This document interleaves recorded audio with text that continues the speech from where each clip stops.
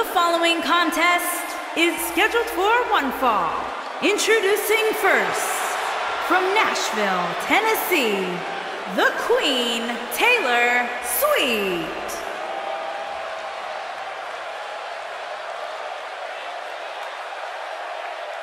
We're just moments away from what will likely be one of the most exciting six-man tag team matches we've seen in a very long time. Well, given the two teams we have assembled here tonight, I would say I have no choice but to agree with you, Cole.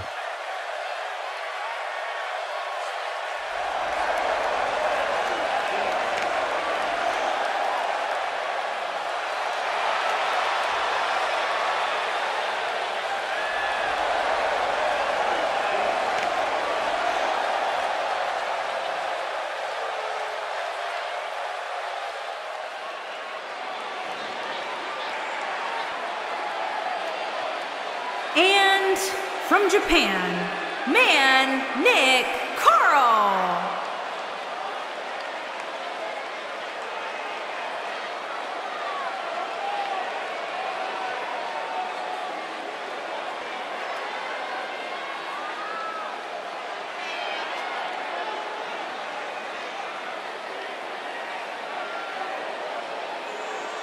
It doesn't get much better than this guy. Six-man tag team action coming up next. Actually, Cole, it can get better than this. Let me just find where they plugged in Saxton's mic. Give me a minute, I'll take care of it.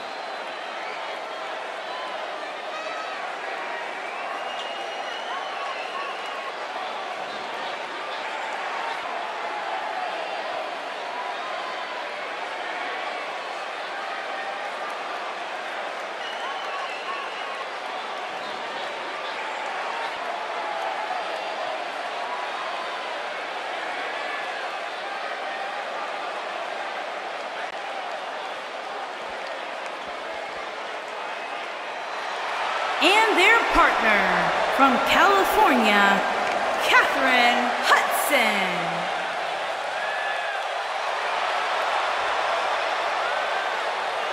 It's now time for our huge six-man tag team match. And I can't think of any competitors I'd rather see go at it right now than these six superstars.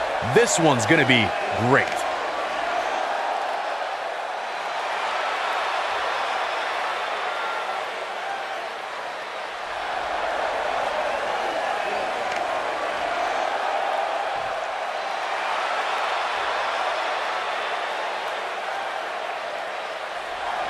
And their opponents, Ali, the and Tanaka, the Headbangers.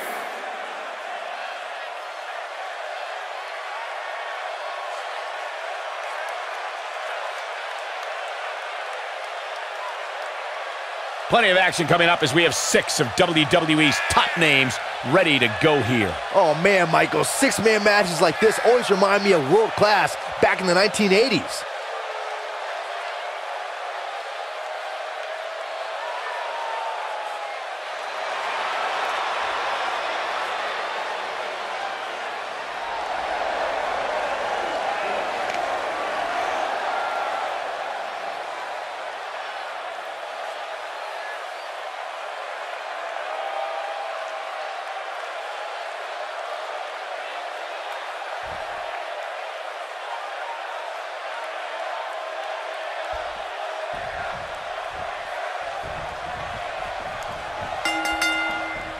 And we're underway with six of WWE's top superstars going at it. Looking at the six competitors we have in the ring tonight, I think it's safe to say that we're oh. entering dream match territory right now.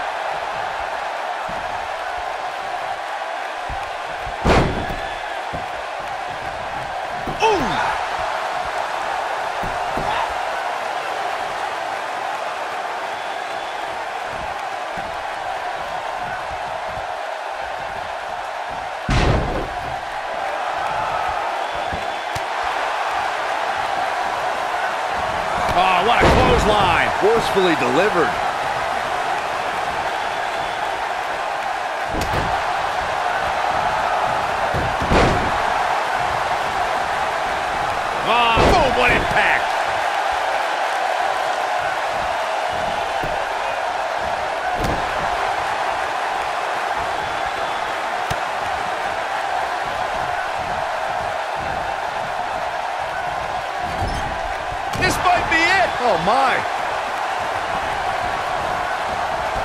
Beautiful technique.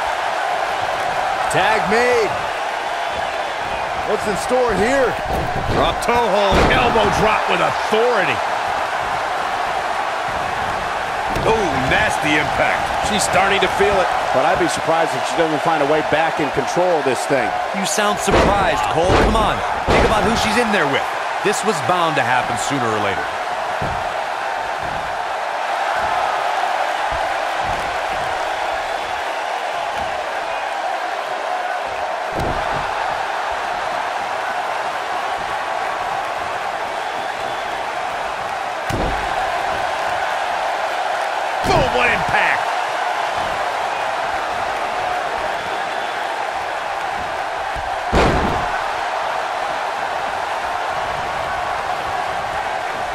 Thanks to Raw General Manager Kurt Angle, in May of 2017, the WWE Universe saw a dream team come together when the Hardy Boys joined forces with the Lunatic Fringe Dean Ambrose.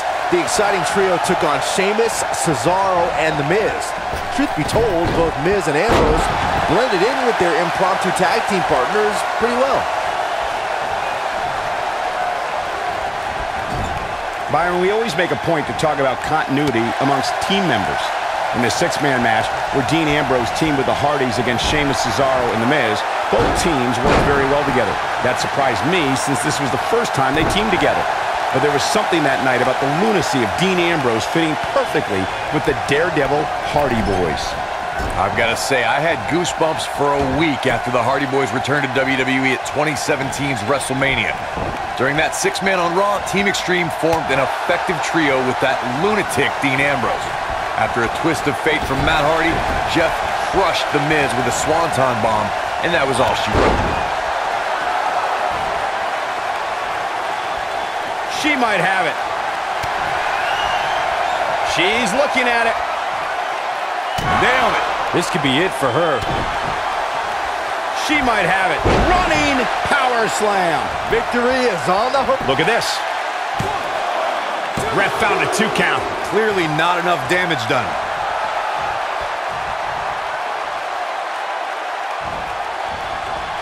Harsh impact.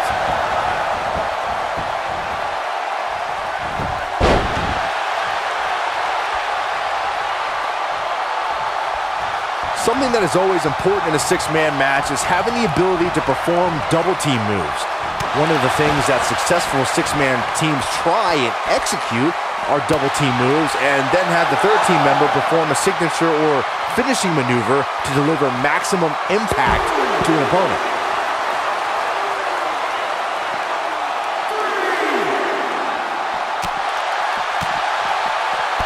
Teamwork is always paramount in a six-man tag match. Superstars want to be able to have a level of teamwork where two members of the trio perform a double team move and the third member follows that up with a move so their opponent is really down for the count.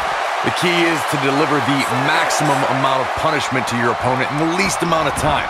You have until the referee's count of five. It's not like you have all day in the ring, but if your team of three can deliver that type of offense, your trio will be in good shape.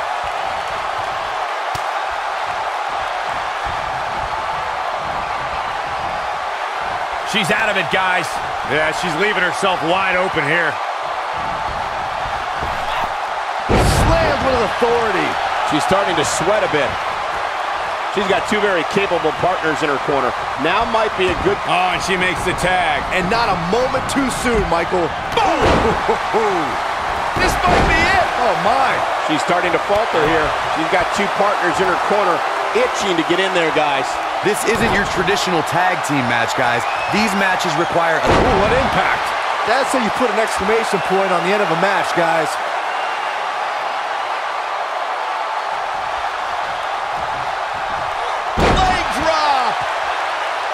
She's calling her out.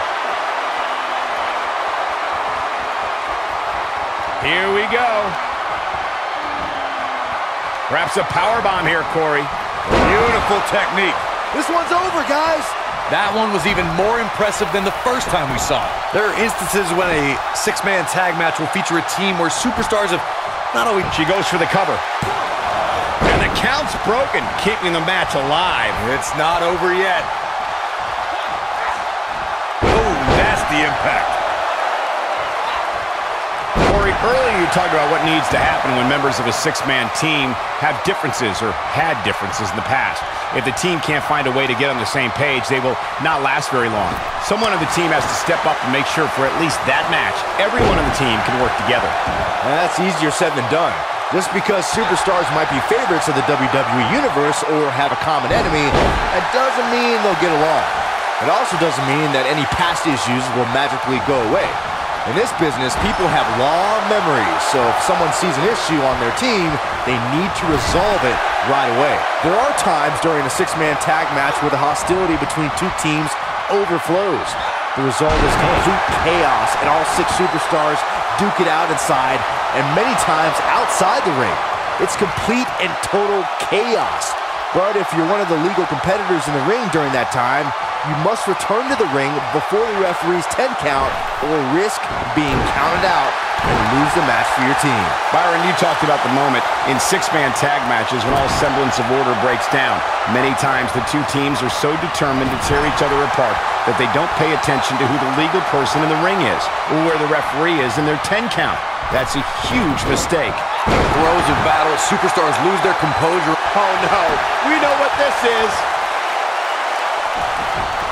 She better do something fast.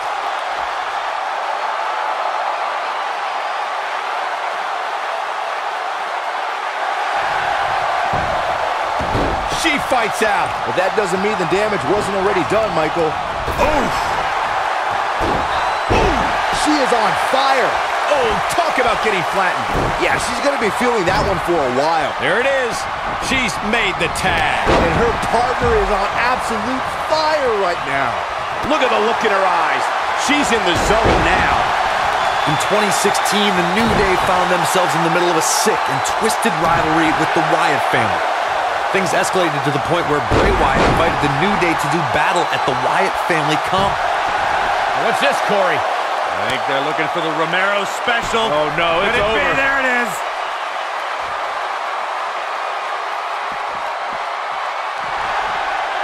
And she escapes the submission. Not a lot of people can break out of that one, Michael. Corey, we've talked about six-man tag matches, and earlier you talked about one that caught the attention of the entire sports entertainment world.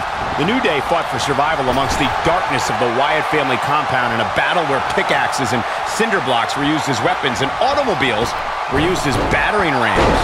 The New Day versus the Wyatts at the Wyatt family compound was not your traditional six-man tag match, but it showed what can happen when issues between factions can't be resolved through a sanctioned WWE match. I'll tell you what, none of the men who fought in that conflict will ever be the same. Six-man tag team matches have been a staple of competition since the early days of sports entertainment. Two teams of three compete against one another under traditional tag team rules. Stipulations can be added like no disqualification, two out of three falls, elimination, falls count anywhere, or whatever else someone could think of. Matches can also be held in a caged environment. Six-man tags can be fought under so many different types of stipulations. Teams can be part of a faction. Look out, there's the tag. And that changes the entire outlook for these women, Michael. Look at her go. Taking off her feet now. And you're not going to win many matches down there. I can tell you that. You got to believe this one's over. Man, she knows how to make a comeback. A belly suplex. She goes for the cover.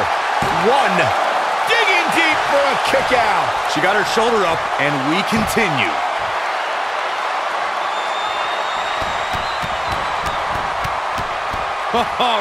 Afterglow combo. That's all she wrote, fellas. And this has got to be it. Two.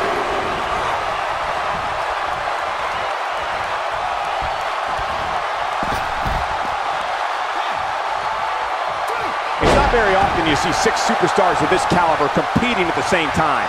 She's so close. Oh, and she makes the tag. And not a moment too soon, Michael.